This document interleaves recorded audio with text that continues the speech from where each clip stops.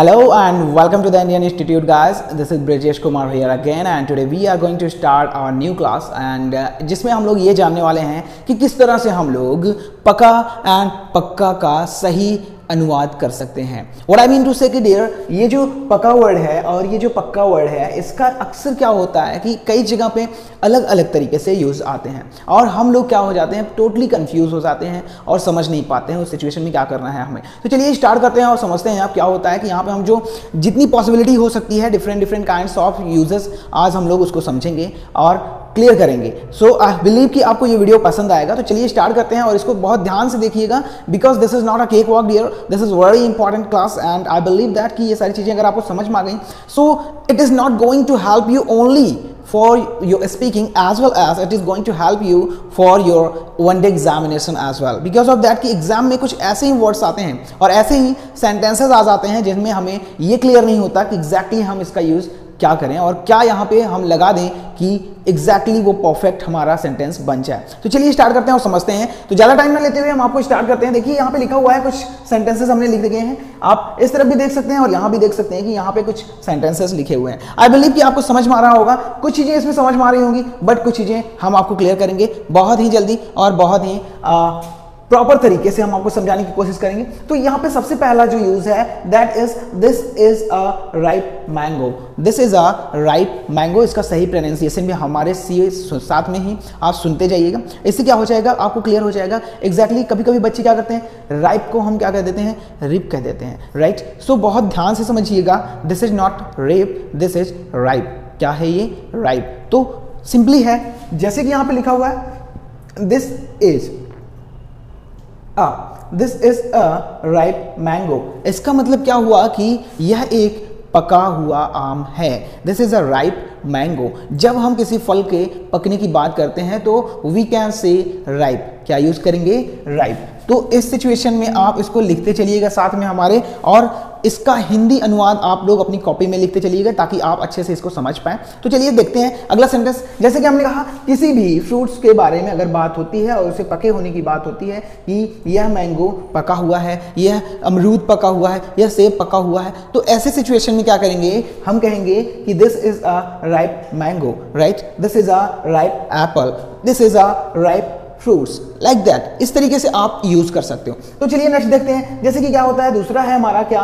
This is a grey and white hair जी हाँ जब बात आती है बालों की तो बालों का क्या होता है कि अक्सर हमारे बाल पके हुए होते हैं तो इस सिचुएशन में हम लोग समझ नहीं पाते कि इसके लिए क्या यूज़ किया जाए। So this is very simple कि यहाँ पे जब कभी भी बालों की बात होती है तो हमें क्या कहना है? This is a grey otherwise white hair right this is a grey otherwise white hair तो सिंपल है, ग्रे एंड व्हाइट का यूज़ करेंगे और सिंपल हमारा सेंटेंस बन गया। अब आपको कभी भी कंफ्यूज नहीं होना है, जब कभी भी हेयर एंड व्हाइट कभी भी आपके सामने बालों की बात आती है तो आप लोग व्हाइट और हेयर का ही यूज़ करिएगा।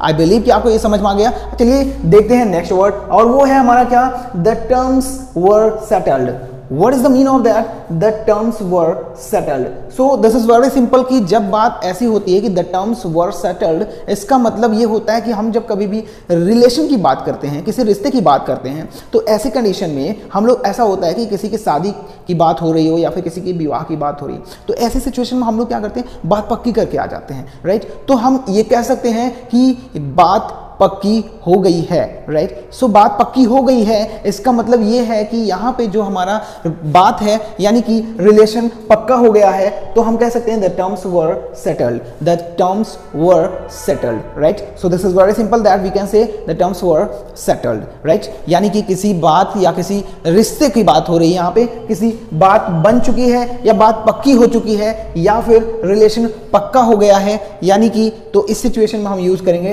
टर्म्स वर सेटल्ड का यूज़ करेंगे तो बहुत अच्छे से समझिएगा, यहाँ पे वर का यूज़ होगा और ये टर्म्स को समझिएगा टर्म्स वर सेटल्ड हो जाएगा और बहुत सिंपली हम लोग इसका यूज़ कर लेंगे। चलिए नेक्स्ट देखते हैं और बहुत ही आसान है। Guys please I request you all कि आप इसको ज़रूर अपनी नोटबुक में लिखते चाहिएगा so these are finished goods या प्रोडक्ट्स क्या है ये? दीज आर फिनिश्ड या फिर these are finished goods or product right जब बात आती है किसी गुड्स या प्रोडक्ट की, यानी किसी चीज़ की तो उस सिचुएशन में हम लोग अक्सर कहते हैं कि ये माल पक्का है राइट ये माल पक्का है, या फिर ये सामान एकदम पक्का है राइट सो इस सिचुएशन में हम कह सकते हैं फिनिश्ड फिनिश्ड मतलब पूरी तरह से तैयार हो चुका है, पूरी तरह से पक चुका है राइट तो ऐसे सिचुएशन में हम लोग क्या बोलेंगे कि दीज आर फिनिश्ड गुड्स यानी कि ये सारे के सारे माल पक्के हैं और पूरी तरह से तैयार हो चुके हैं राइट अब आपको चलते हैं, अगला सेंटेंस देखते हैं। बहुत ही इजी बहुत ही आसान तरीके से हम आपको समझाने की कोशिश कर रहे हैं। तो this is a certified copy this is a certified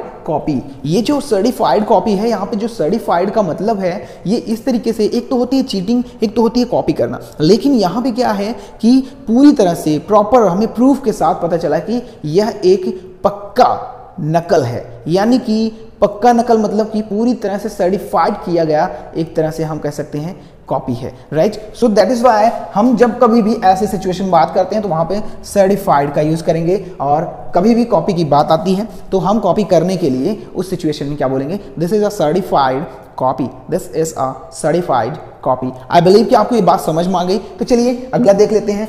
ये है हमारे सामने नेक्स्ट वर्ड और ये है this is a mature consideration ये ये जो कंसिडरेशन लिखा हुआ है, बहुत से लोग इसको बोलते हैं कॉन्सिडरेशन बहुत से लोग बोलते हैं कंसिडरेशन लेकिन एग्जैक्टली exactly इसका जो प्रोनाउंसिएशन है that is called consideration consideration consideration यानी कि this is a mature consideration. This is a mature consideration. This is a mature consideration. यानी कि बात ये हो रही है कि यहाँ पे किसी के विचारों की बात हो रही है।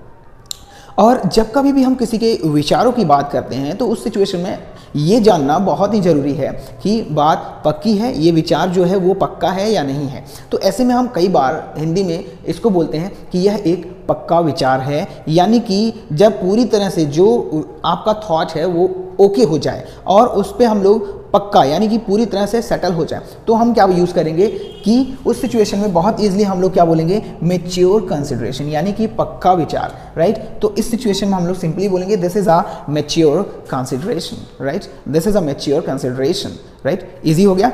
चलिए, अगला सेंटेंस देखते हैं।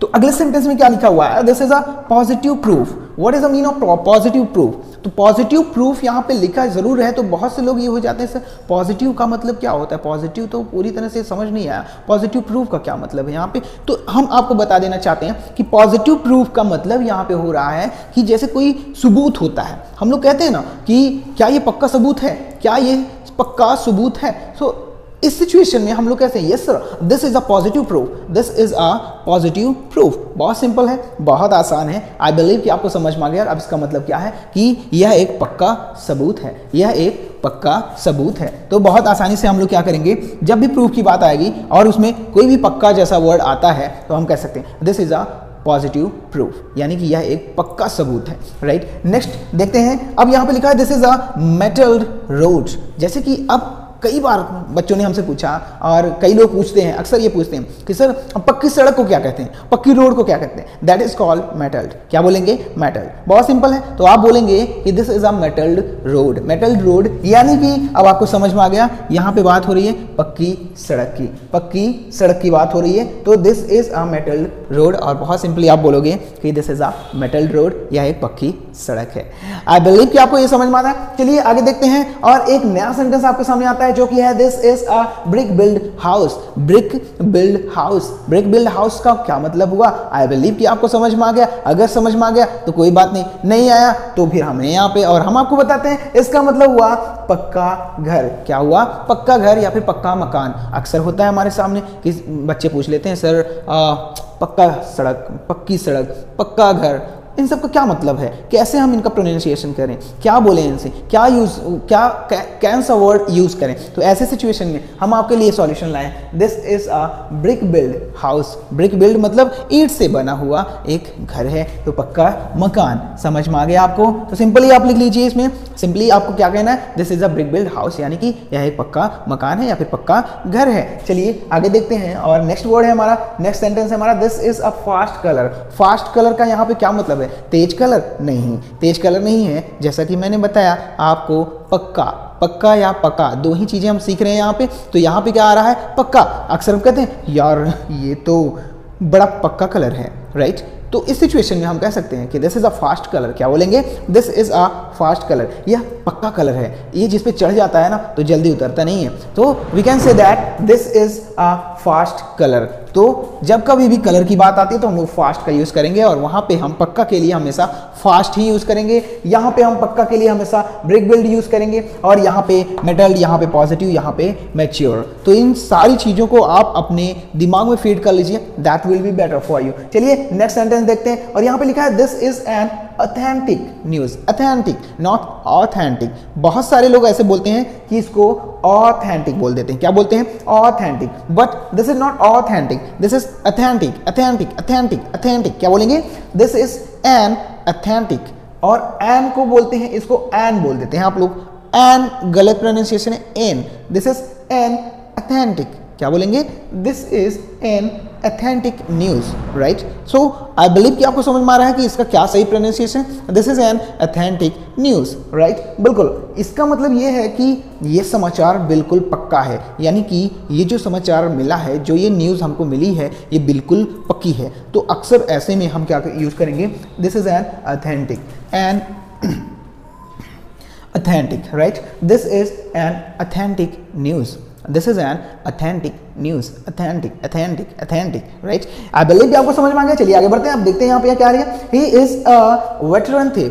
Veteran thief what is the mean of veteran so veteran का मतलब यहाँ पे है कि अक्सर हम लोग कहते हैं, यार, ये पक्का चोर है। जी हाँ ये पक्का चोर है। तो इसका मतलब अब हम क्या कह रहे हैं कि थीप के लिए वेटरन लगाएँगे। क्या लगाएँगे? वेटरन थीप यानी कि ये पूरी तरह से चोर है, पक्का चोर है। मानो या ना मानो ये पक्का चोर है right so this is very easy that we can say he is a veteran ठीक चलिए, आगे देखते हैं। He is a man of word what is the mean of man of word man of word का मतलब होता है dear कि जब कोई व्यक्ति अपनी बात का पक्का हो तो उस सिचुएशन में जो पक्का वर्ड आ रहा है, उसके लिए हम यूज़ करेंगे मैन ऑफ़ वर्ड क्या बोलेंगे? बात का पक्का इंसान. क्या लिखेंगे आप लोग? जी हाँ बात का पक्का इंसान। So this is very easy that he is a man of word तो इस चीज़ को याद रखिएगा, इसके लिए हम लोग आएँगे, हमेशा मैन ऑफ़ वर्ड का यूज़ करेंगे। चलिए नेक्स्ट देख लेते हैं। यहाँ पे नेक्स्ट सेंटेंस क्या कह रहा है? कि he is a reliable person reliable मतलब क्या होता है? भरोसेमंद। क्या होता है? भरोसेमंद। लेकिन एक तरह से हम यहाँ पे जो समझ रहे हैं, वो भरोसेमंद नहीं। इसी भरोसेमंद को हम लोग दूसरे तरीके से भी कह देते हैं। और ये क्या कहते हैं? हम ये कहते हैं कि वह बहुत ही पक्का आदमी है। वो बहुत ही पक्का आदमी है। पक्का आदमी मतलब यहाँ पे क्या है कि वो बात का पक्का है और एक तरह से कह सकते हैं कि सच बोलता है ऑनेस्ट है, ईमानदार है। तो ऐसे सिचुएशन में हम क्या कहेंगे कि he is a reliable person उस पर भरोसा किया जा सकता है। वो बहुत ही पक्का इंसान है राइट तो इस तरीके के सेंटेंसेस आपके सामने अक्सर आते हैं। तो guys please don't be confuse आइए देखते हैं यहाँ पे क्या है। कुछ और भी लिखा हुआ है। He is my bosom close fast friend इसका क्या मतलब है? इसका मतलब ये है कि हमने तीन वर्ड यहाँ पर लिखे हुए हैं। एक तो है बॉजम दूसरा है क्लोज तीसरा है क्या हमारा? फास्ट जी हाँ। तो आप बहुत ध्यान से समझिएगा कि अक्सर हम लोग कहते हैं कि वह मेरा सबसे पक्का मित्र है। जी हाँ वह मेरा सबसे पक्का मित्र है। तो इस सिचुएशन में जो पक्का वर्ड आ रहा है, उसके लिए हम लोग यूज़ कर रहे हैं क्या? ये तो आप बजम का यूज़ करिए। नॉट बॉजम बहुत से लोग इसको यूज़ करते हैं बॉजम नहीं दिस इज़ बजम क्या बोलेंगे? He is my bosom close fast friend या तो आप बोलिए ही इज़ माई बजम फ्रेंड या फिर आप बोलिए he is my close friend या फिर आप बोल सकते हैं he is my fast friend I believe कि आपको ये बात समझ में आ गई। तो ऐसे कई सेंटेंसेस हमारे सामने आते हैं। मैंने जितना हो सका, उतना कोशिश की है, जितनी पॉसिबिलिटी है, उतनी मैंने कोशिश की है आप लोगों को समझाने की। आई बिलीव कि आपको ये वीडियो पसंद आया होगा। अगर आपको ये पसंद आया प्लीज़ गाइज़ आप लाइक कीजिए शेयर कीजिए एंड कॉमेंट्स करना ना भूलिए बिकॉज़ ऑफ़ दैट कि आप जैसे ही कमेंट्स करते हैं हाँ ये वीडियो पसंद आया आपको सर तो अगला वीडियो हमारे लिए ऐसे ही कुछ सेंटेंसेस से ले आइए तो डेफिनेटली हम आपके लिए अगली वीडियो लेके आएँगे जिसमें ऐसे ही कुछ आपको चीज़ें क्लियर की जाएँगी। एंड आई बिलीव कि आपको वो वीडियो भी बहुत पसंद आएगा। सो so, चलिए आज के लिए रखते हैं। बस इतना ही। थोड़ा सा आप इस पर काम करिएगा। एंड मिलते हैं अगले वीडियो में जिसमें हम कई नई चीज़ें ऐसे ही लेके आने वाले हैं। So thank you so much for today see you with the next video bye bye take care and best of luck